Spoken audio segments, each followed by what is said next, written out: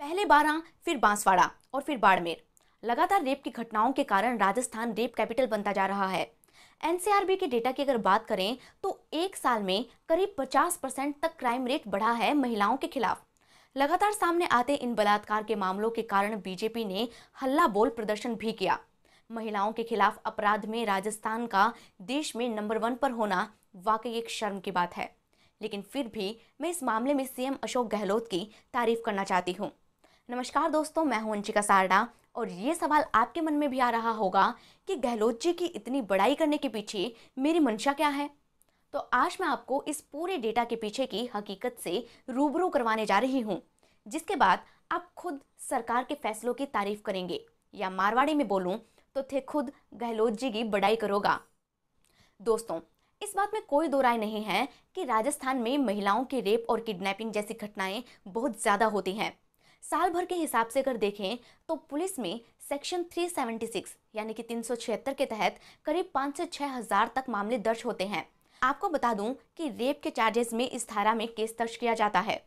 लेकिन इतनी बड़ी संख्या में केस दर्ज होना ही इस बात के पीछे का कारण है कि राजस्थान देश में महिलाओं के खिलाफ अपराध के मामले में नंबर वन पर पहुँच गया है। बेशक, एक राज्य के तौर पर हर सीएम और राज्य के लिए ये शर्म की बात है। लेकिन अशोक गहलोत ने इस बात को जानते हुए भी पुलिस को इस तरह के मामलों में एफआईआर दर्ज करने के सख्त निर्देश दिए हैं, जो कि वाकई काबिल तारीफ़ है। अब जो बात मैंने कही है, उसके पीछे का फंडा भी मैं आपको समझा देती हूँ। दोस्तों, दरअसल हर सरकार अपने शासनकाल को बेहद साफ़ सुथरा दिखाना चाहती है। इसलिए क्राइम के डेटा को छुपाने की कोशिश भी सिस्टम की तरफ़ से की जाती है। इसके अलावा रेप की घटनाओं में बहुत बार पुलिस एफआईआर तक दर्ज नहीं करती। ऐसे में लोग खुद ही थक हार कर इंसाफ की उम्मीद खो देते हैं। लेकिन सीएम अशोक गहलोत ने साल 2019 में ये सर्कुलर जारी किया था कि पुलिस को इन मामलों में हर हाल में एफआईआर दर्ज करनी होगी। इसके बाद 2020 में उन्होंने फिर से एक सर्कुलर जारी किया, जिसमें उन्होंने पुलिस को याद दिलाया कि परिवादी की रिपोर्ट हर सूरत में दर्ज कराई जाए। देश में अनेक राज्य ऐसे हैं जहाँ पर रेप के बाद रिपोर्ट तक दर्ज नहीं होती। उल्टा पुलिस मामले को ढकने में लग जाती है। इंडियन एक्सप्रेस की एक रिपोर्ट के मुताबिक, पुलिस के बड़े अधिकारी भी ये मानते हैं कि हर मामले में सबसे पहले एफआईआर दर्ज होना बेहद ज़रूरी है। इस तरह के मामलों में जब पुलिस एफआईआर दर्ज नहीं करती तो इससे पीड़ित पक्ष का मनोबल टूट जाता है और उसे लगता है कि पुलिस के चक्कर काटने से कोई फ़ायदा नहीं है और इस चीज़ से अपराधी को फ़ायदा मिल जाता है।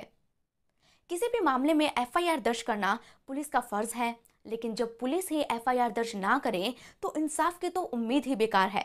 लेकिन सीएम अशोक गहलोत ने ये सख्त निर्देश दिए हैं कि ऐसे मामलों में एफआईआर दर्ज करना ज़रूरी है और इसी वजह से राजस्थान इस लिस्ट में टॉप पर पहुँच गया। मैं ये नहीं कहती कि सीएम अशोक गहलोत के हर फैसले की मैं तारीफ़ करती हूँ या फिर मैं उनकी हर एक बात से सहमत हूँ।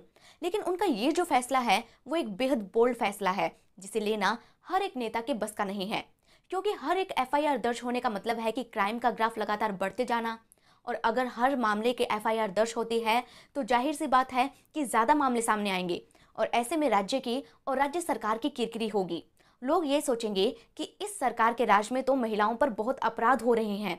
लेकिन सीएम अशोक गहलोत ने इस बात की बिल्कुल फ़िक्र नहीं की और ना ही उन्होंने अपनी छवि की फ़िक्र की, बल्कि साफ़ कह दिया कि आंकड़ों की परवाह ना करें और एफआईआर दर्ज करें। जिस वजह से मामले बढ़े ज़रूर हैं, लेकिन मामले सुलझे भी ज़्यादा हैं। वो ऐसे कि ज़्यादा एफआईआर दर्ज करवाने पर कार्रवाई ज़्यादा हुई है, और जहाँ पर कार्रवाई ज़्यादा हुई है, वहाँ पर मामले कम हुए हैं। लेकिन अब ये हमारे समाज के लोगों पर है कि वो कब अपनी मानसिकता बदलते हैं और कब रेप जैसे अपराध छोड़कर महिलाओं का सम्मान करना सीखते हैं। लेकिन एक बोल्ड फैसला लेते हुए अपनी छवि को दांव पर लगाने का काम करना हर एक सीएम के बस का नहीं है। तो दोस्तों, आंकड़ों के पीछे की हकीकत बयां करने के लिए मैंने ये रिपोर्ट बनाई थी। खास आपके लिए ये रिपोर्ट पसंद आई हो तो इसे लाइक और शेयर ज़रूर करें। इस रिपोर्ट पर आप अपनी राय हमें कमेंट सेक्शन में ज़रूर बताएँ।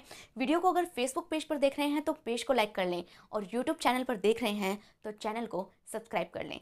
धन्यवाद।